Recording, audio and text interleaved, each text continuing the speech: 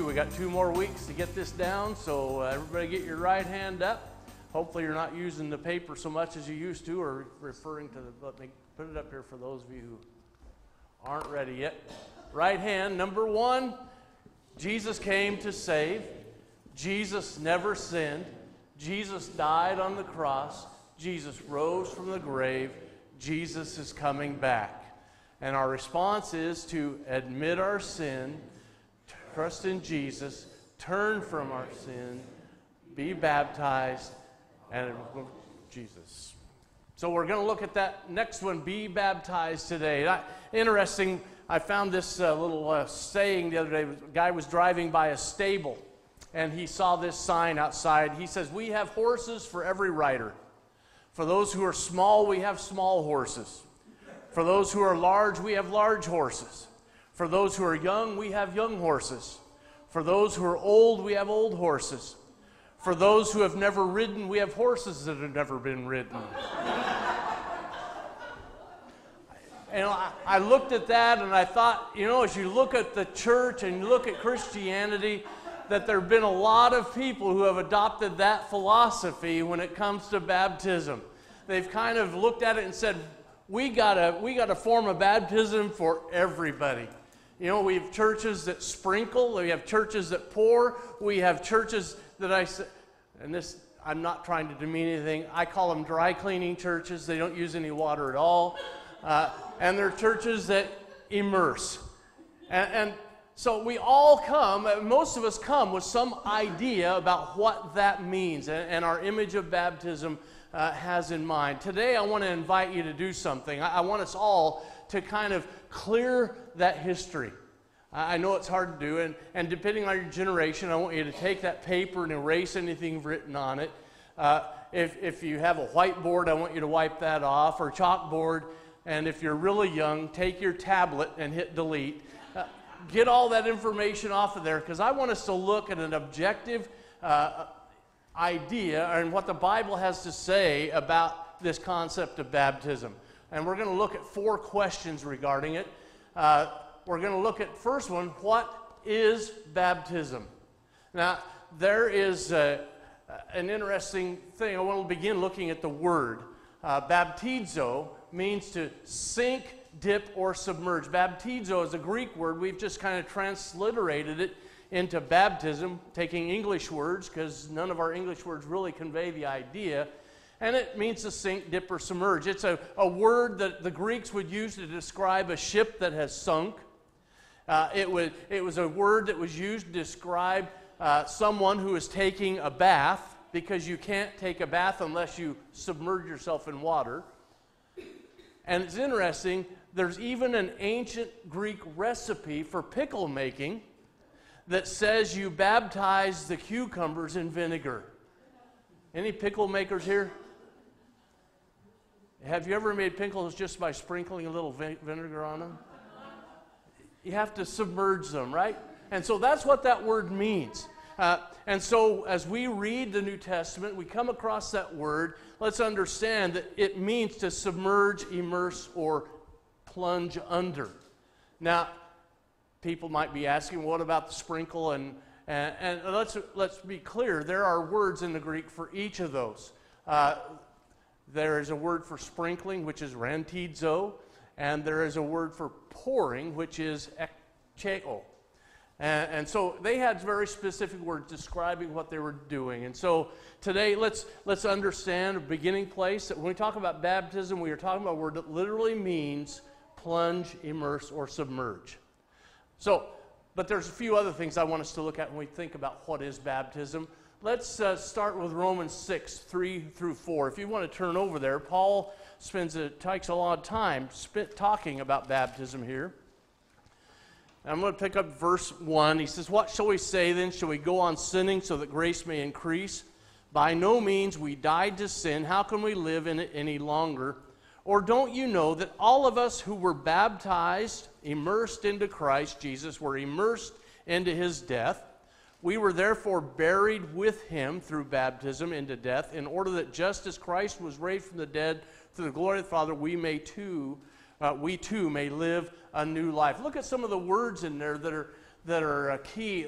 It talks about being joined with Christ. It talks about being joined in his dying with Christ. It talks about being buried with Christ. It talks about being raised with Christ. All those elements are important. And, so, what Paul is describing is some act that, that mirrors the death, burial, and resurrection of Jesus. And I would submit to you that, that immersion in water is probably the most reliable and most accurate depiction of that. And, and one of the things that happens as we submit ourselves to that baptism is that we are actually proclaiming the gospel. We are proclaiming that our dependence is on the death, burial, and resurrection of Jesus. But it's interesting, he says, as we come out of that water, what's the last phrase he uses? That we too may what? Live a new life. I would suggest that Paul is talking there that if we're talking about getting new life in Jesus, it's as we emerge from those waters of baptism that that newness begins. He told Nicodemus, unless you're born again, that language almost carries straight across. Paul says at that point that you, your old man dies and you come out of that water living and new. So it, it's, if you want to, one man said it's the starting line of our relationship with Jesus. It really is the starting line, of that walk with Jesus. We're going to talk more next week. It, it's also the, a unifying tenet of our faith. Go back to Ephesians chapter 4. Paul is talking about unity within the church. In chapter 4, verses 4 through 6, he says, There is one body and one spirit, just as you were called to one hope when you were called. And verse 5, one Lord, one faith, one baptism one God and Father of all, who's over all and through all and in all. It's interesting that, that he's talking about unity. Paul includes one baptism. Now, that, that suggests to me in God's mind that baptism was to be a unifying tenet with the church. It was to be a, a thing that brought us together, understanding we all had that same mind and lived on that same level. And I wonder sometimes how God feels when something that he intended to unify the church has been used to divide and segment the church. Almost in a, in a mean spirited way. You know, I've talked to people about baptism, other people of, of preachers from different faith, and one of the things that they say, well, you're a water regenerationist. And, and that is tantamount to name calling in my mind. It's, it's as if we believe the water we dip people in are, is somehow special. Everybody, everybody knew Willamina water was special, right? you just didn't know how special. Now I know why it tastes so funny when I drink a glass. You know, we don't believe water is the key. We believe faith is, but we believe obedience is connected with it. One Lord, one faith, one baptism. And, and can we use that to, to bring about a unity? within the church? Can we bring about a, an agreement on that? It's a tenet of the faith. It, it's a pledge of good conscience. Go back to 1 Peter 3 21. 1 Peter 3 21. A lot of information, so we're kind of moving along. I hope I'm not going too fast. But Revelation or 1 Peter 3 21. Paul or Peter's talking about the, the flood of Noah, and verse 21, he says, And this water, that is the waters of Noah's flood, symbolizes baptism that now saves you also. Not the removal of dirt from the body, but the pledge of a good conscience towards God. Now, think about that word pledge for a moment. It is a business term. A pledge, it, it, it's as if you sat down and talked to somebody about a deal. If you're, if you're going to, to buy a car, you, you sit down across the desk, usually from a guy, and you negotiate back and forth until you come to an agreement, and then you say, Yeah, I can live with those terms. Barely, but I can live with those terms. And, and so you agree. But when does that contract become binding? When you sign your name to the bottom of the contract. Well, in Greece, they didn't have signed contracts, but they would talk about a deal, and at some point, when both parties agreed, they would both stand up.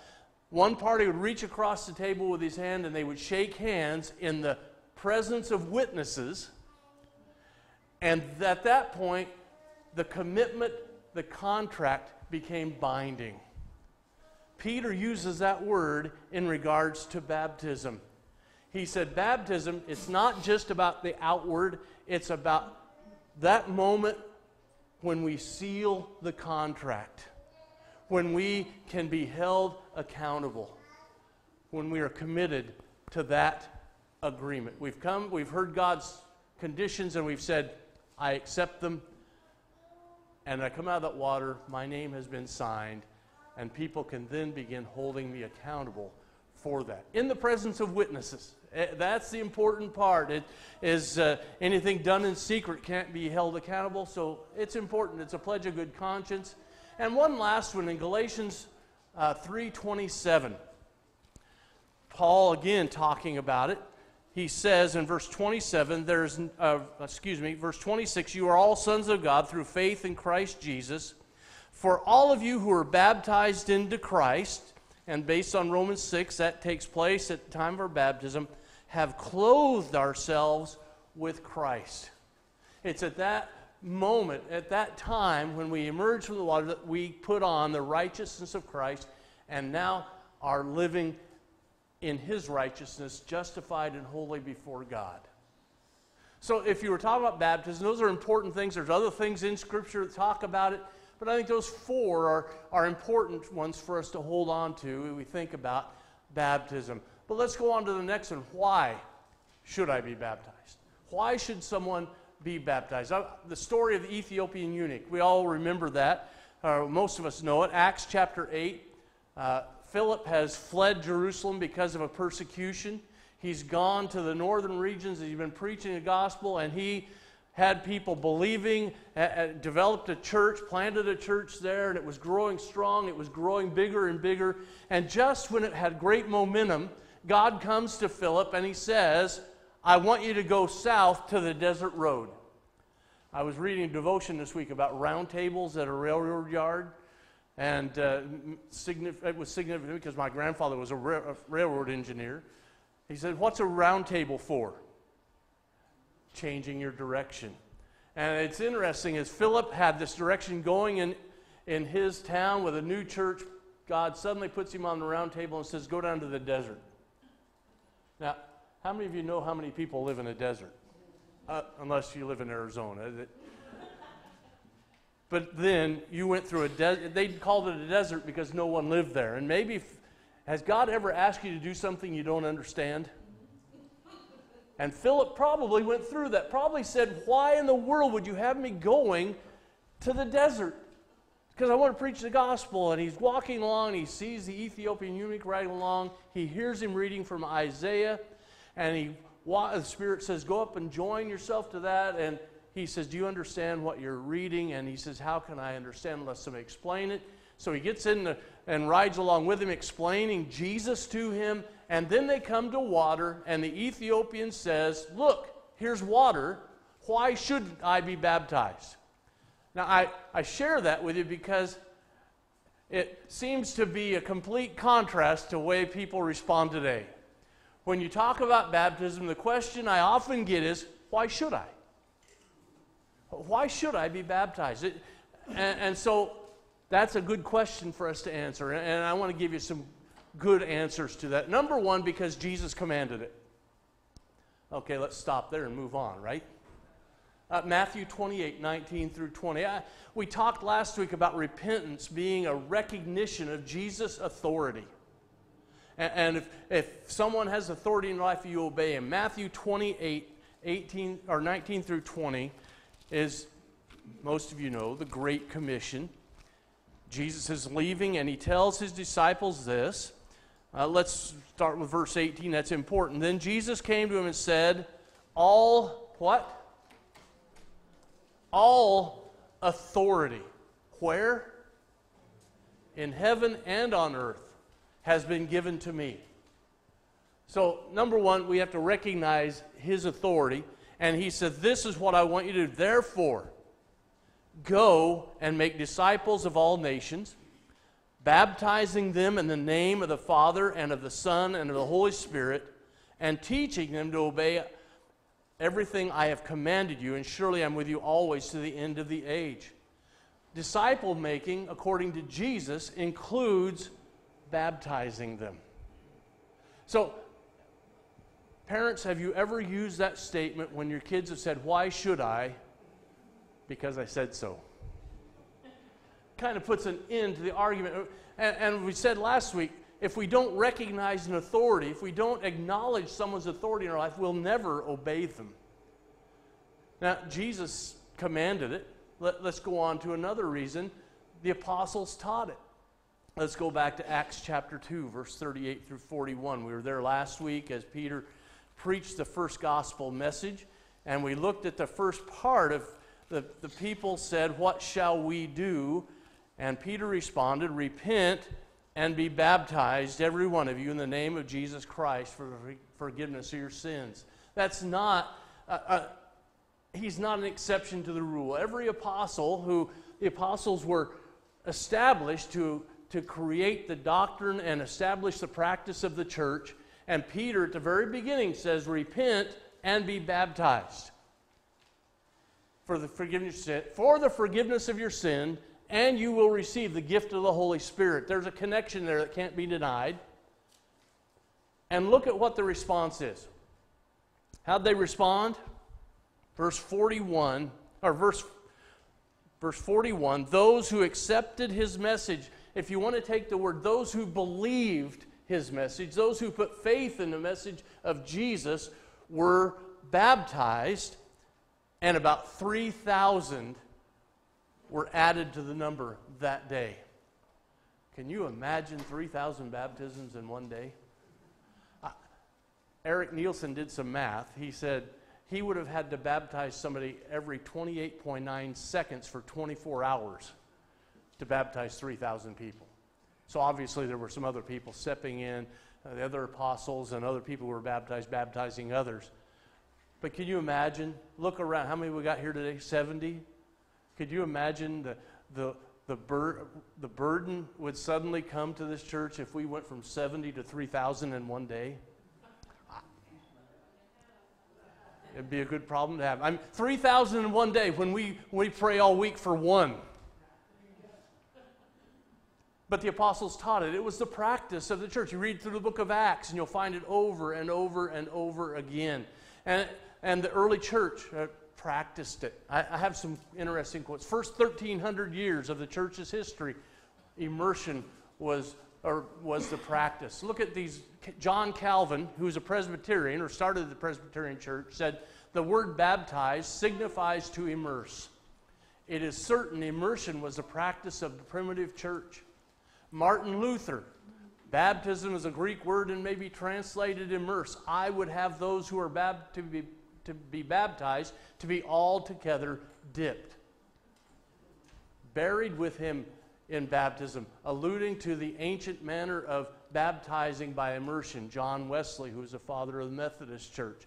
And here's one from the Episcopal Church. Immersion was probabil- in all probability the way in which our blessed Savior, and for certain the way in which ancient Christians received their baptism.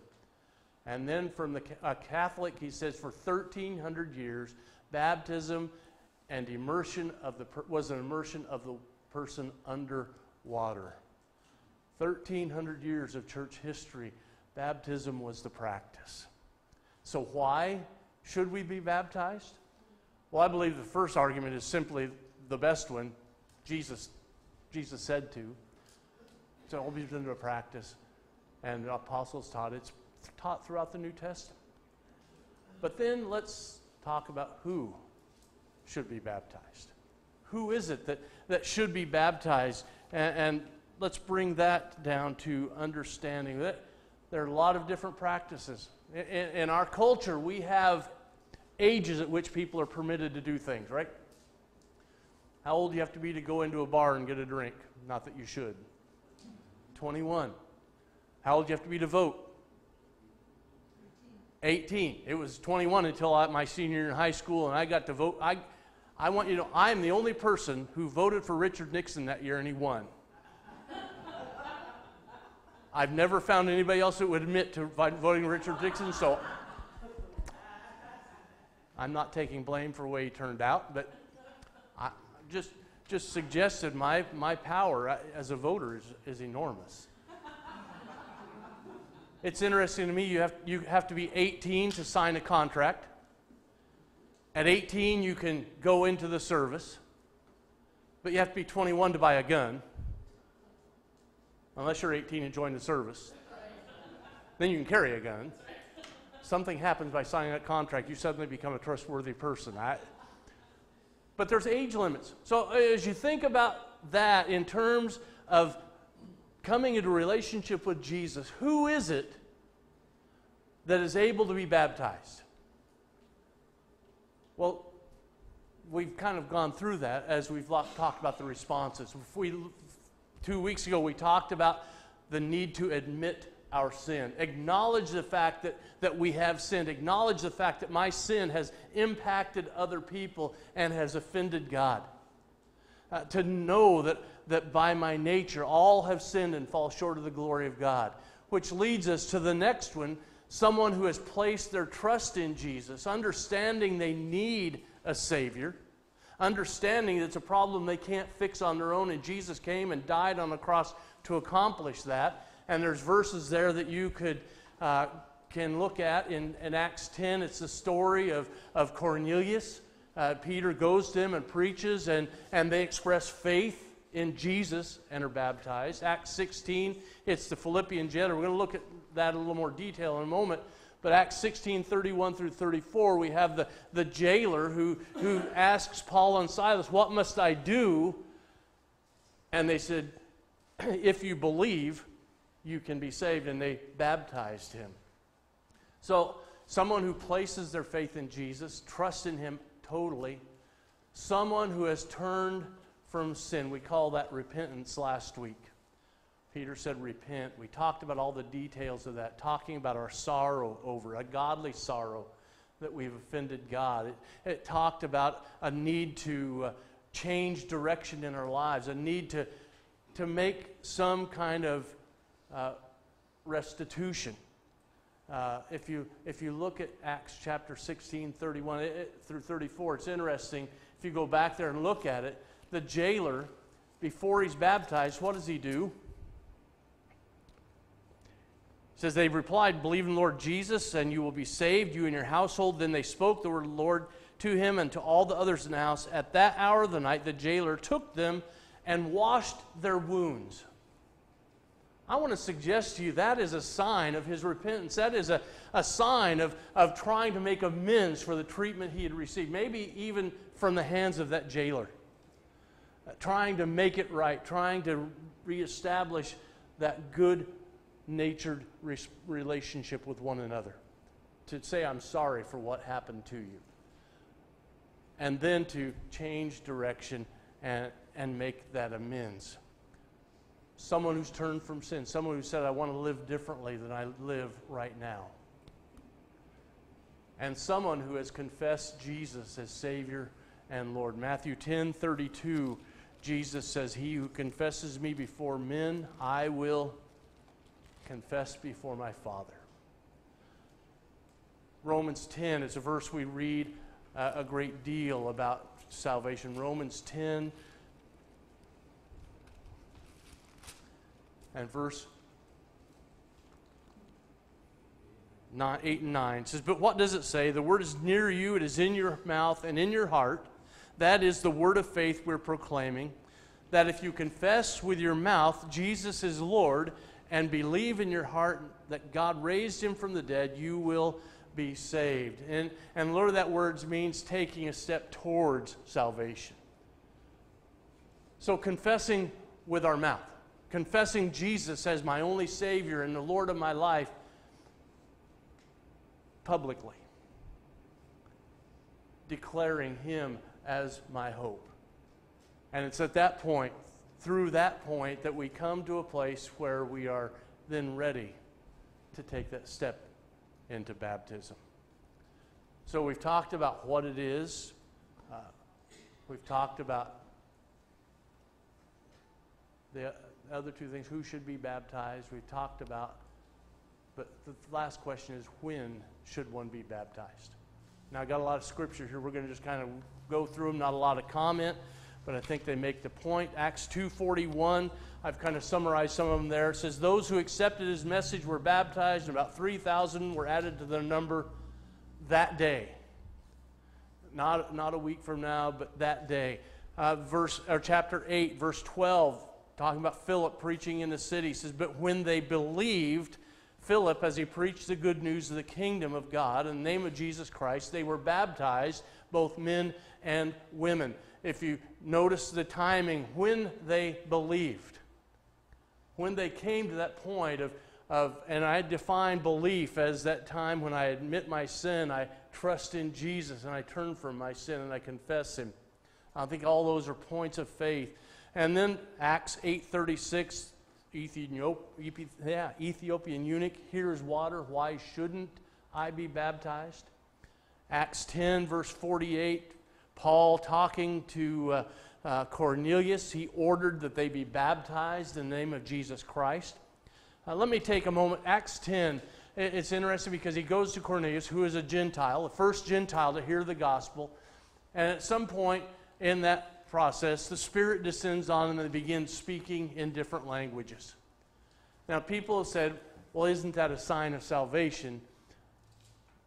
And I, I, want, to, I want us to understand if you look at those times when it occurs, it shows that God is putting a stamp of approval. On, on Acts chapter 2, when the apostles began speaking in tongues, it was God's declaration through that that these men are under are acceptable to me and they are my messengers. Acts chapter 10, no Gentile has ever entered into the faith before. And Peter went in saying, You know, I've never touched anything unclean. You know it's wrong for me to be in the house of a Gentile. And so the Spirit comes, they begin speaking in tongues, and Peter says, Clearly, God has accepted these people. And so he commands them to be baptized. And so he ordered that they be baptized. Uh, let's look at Acts 16 31 through 33. Uh, the Ethiop or the Philippian jailer, get my people all mixed up. 31 says, They replied, after he says, What must I do to be saved? Believe in the Lord Jesus, and you'll be saved, you and your household. Then they spoke the word of the Lord to him and all the others in his house. Faith comes by hearing. At that hour of the night, the jailer took them and washed their wounds. Then immediately he and all his family were baptized. In Acts 18 8, they became believers. At Crispus, the leader of the synagogue, and everyone in his household believed in the Lord. Many others in Corinth also heard Paul became believers and were baptized. Acts 19, verses 4 and 5, Paul has come to the city and he's preaching to people, and they uh, hadn't heard of uh, baptism, of faith. And verse 1 says, While Apollos was at Corinth, Paul took the road through the interior and arrived at Ephesus.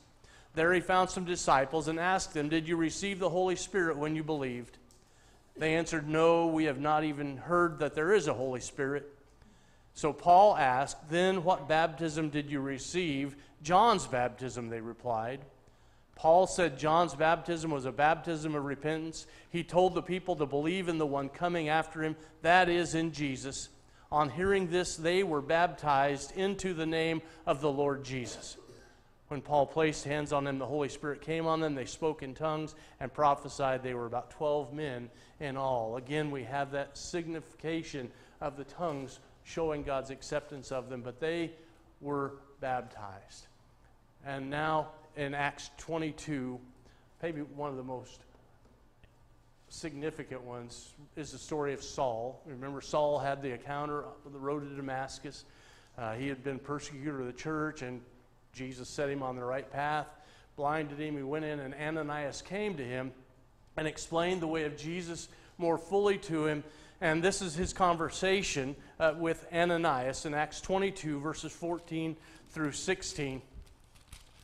Ananias says to him, Then he said, The God of our fathers has chosen you to know his will and to see the righteous one and to hear words from his mouth. You will be his witness to all men of what you've seen and heard. And now, what are you waiting for?